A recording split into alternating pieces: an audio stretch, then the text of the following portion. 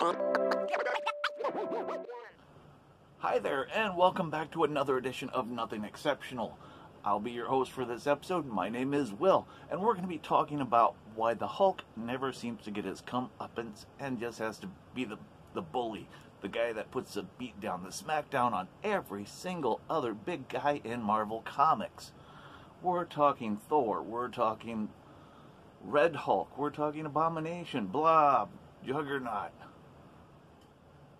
And really, we're really talking about the Thing. The Thing has put up with a lot from the Hulk over the years. What are we talking? 60 years of SmackDowns? The guy deserves a break.